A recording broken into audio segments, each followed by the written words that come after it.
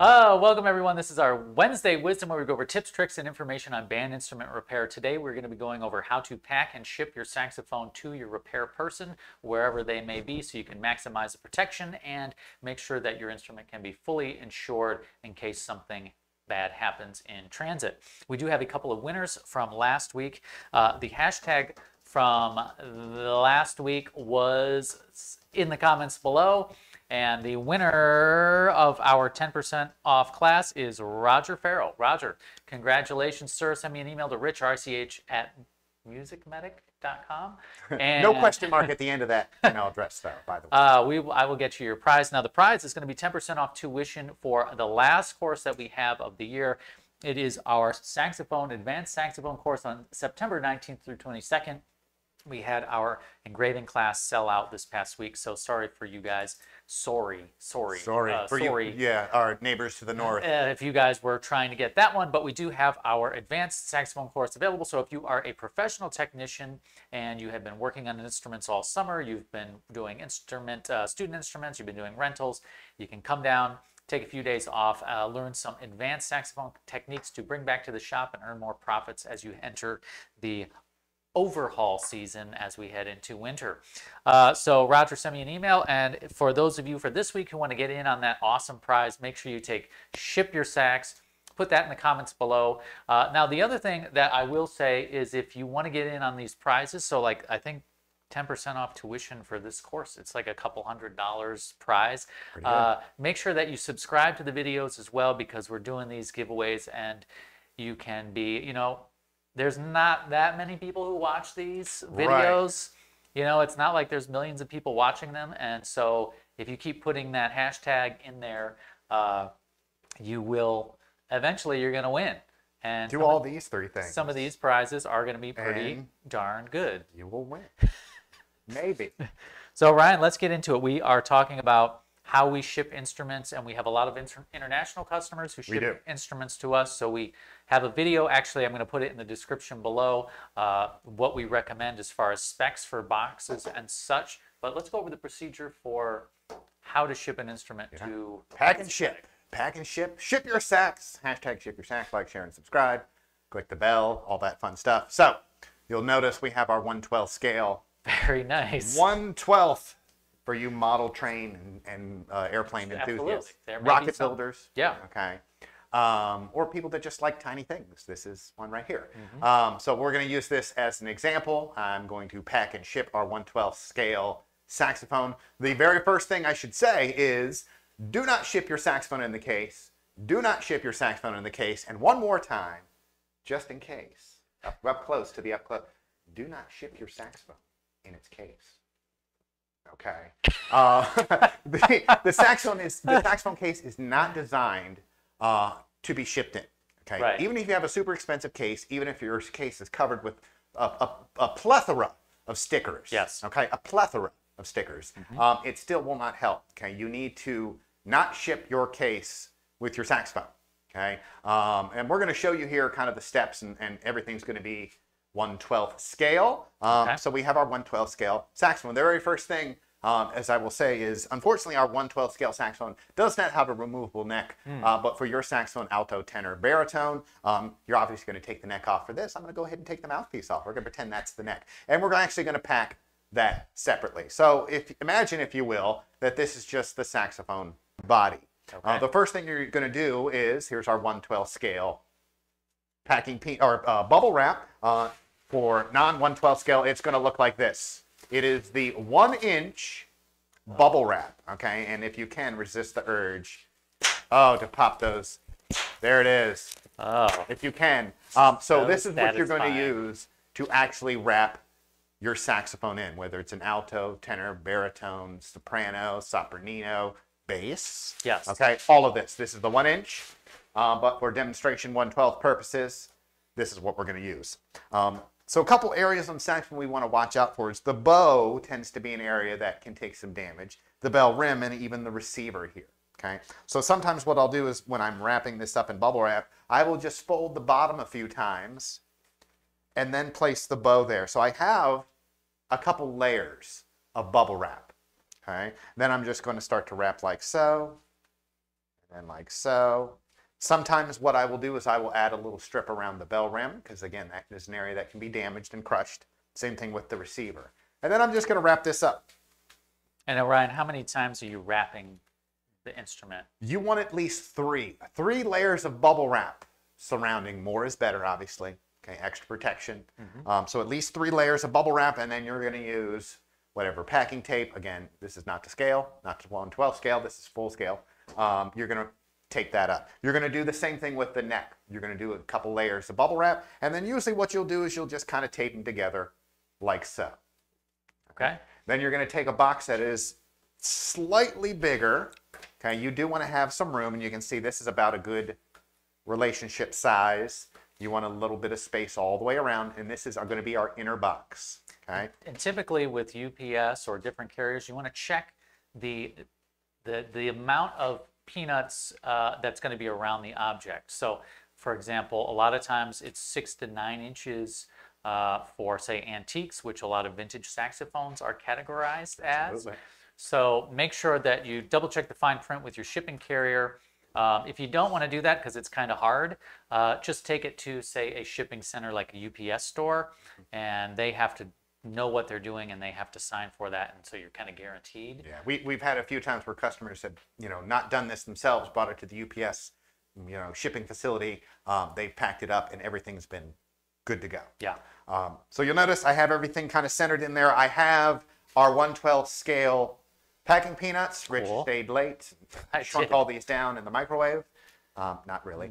But so as you can see here, so there's a layer of, of bubble, uh, sorry, packing peanuts in the bottom, and then I'm just going to fill the rest of this box with packing peanuts, and I'm trying not to spill. But you may spill some. That's I may. all right. It's okay.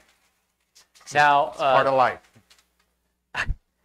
the other thing is you're in the video that I have in the link below, it does have the sizes of the boxes. So for say an alto saxophone like this one, it's going to be a 28 by 16 by 10 inch box on the outside and then a 26 by 13 by 8 inch on the inside. So I know this isn't exactly the same. Well, we're working 112 One, scale. 112 scale. Gotcha. So do, do the math, folks. I mean, what do you want? Uh, but uh, make sure. So I do have the, uh, and if you have a tenor or you're shipping a baritone saxophone, we also have those dimensions in that video as well.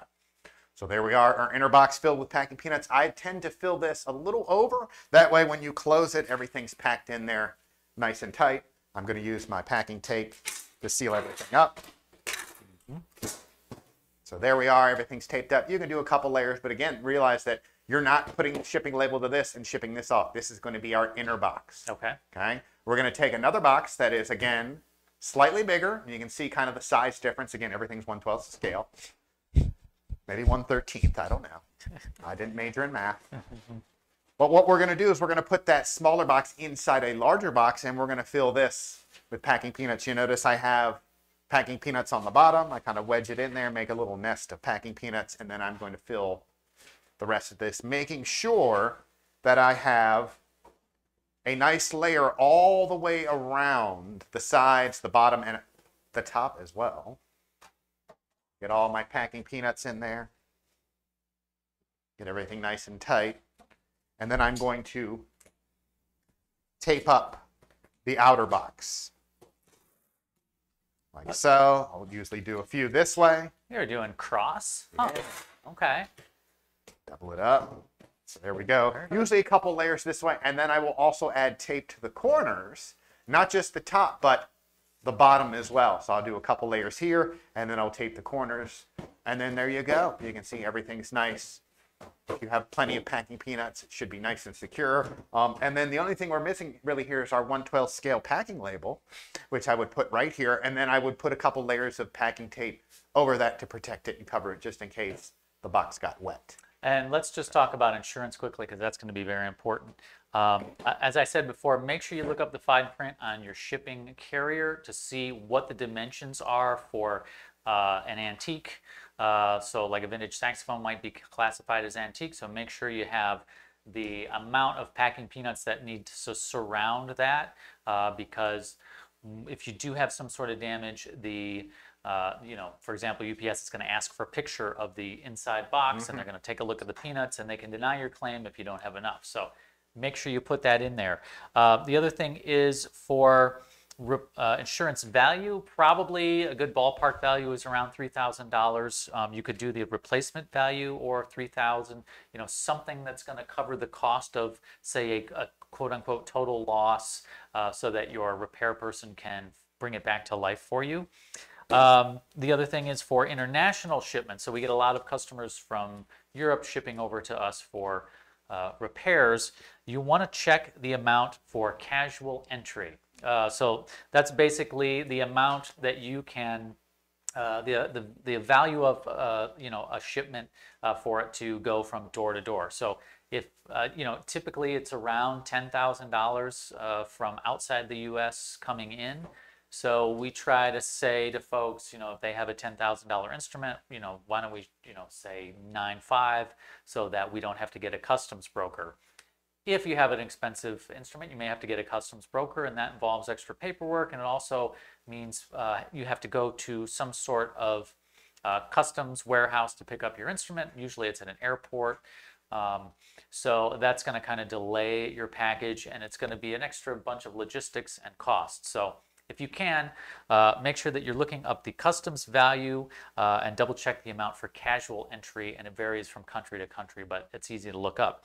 Uh, the other thing to remember about the customs value is the customs value is the same as the insurance value when you are shipping internationally. So any country that has that, or if they have a lot of duties, uh, duties, uh, if they have a lot of charges for customs, uh, you know, you you have to remember that whatever you so for example uh, some of our customers will say well you know I, the instrument's worth 5000 but just say it's it's actually $500 well if this instrument gets damaged in shipping customs and insurance is only insurance is only going to pay the $500 value that you put on for customs. So you kind of have to you know, figure out the sweet spot for where you want to put the value at. Whether it's if it's a five thousand dollar instrument, maybe you put the value at twenty five hundred, so that or three thousand or whatever, so that in case there is damage, you're covered uh, in terms of insurance costs. Yeah. Um, and then the other thing is, you know, in terms of dropping it off uh, in the United States, uh, we do a lot of UPS work, so. Um, you know, we often we'll drop off with a UPS driver, uh, a drop center. A distribution center is also good. So say, you know, distribution centers are often open 24 hours. We have one here in Wilmington, North Carolina, and all we have to do is get the package in and just give it to someone in a brown Yeah, shirt. yeah. As long as they work there, Yep, just give it That's to them. right. They'll take care of the rest. Distribution centers are great to drop off. So say if you're a college student, you don't understand, you know, how things work, and you've got your instrument, and it's after six o'clock, and your repairman's like, "Hey, I need it by Thursday to get it back to you for your recital, whatever." You can always find the distribution center, drive it over there, and give it to any of them. And I think the UPS store, having a UPS store person package your instrument for you, even if you're just watching them, That's right. is a very good idea just because in terms of insurance stuff they know their shipping rules uh, you can also just look up shipping rules in fedex ups dhl and eventually you can dig through and see what the actual requirements are uh, ryan i think Yeah, I think everything's good to go. I think I'm ready to ship this out. you know, we're going to insure this for, you know, probably tens of thousands since, you know, right. it's the world's only Sopranino et 112 scale saxophone, fully playable. I'm not going to play it for you, but it is. That's right, fully to. playable. Make sure you take Ship Your Sax, put it in the comments below. Make sure you like, share, and subscribe this video so you can share it around. I will also have a link in the comment, uh, in the description below to the actual dimensions of the boxes that you will need. That uh, Those are very handy to have. We'll be back next week. Uh, we're going to go over some advanced saxophone stuff with Ryan. We're going to be talking about uh, reaming key ends for key fitting, and we're going to be getting ready for our advanced saxophone repair course at the end of September. Fun stuff. That's right. That's going to do it for now. So uh, until next time, happy repairing. Insured, we're fine. That's good.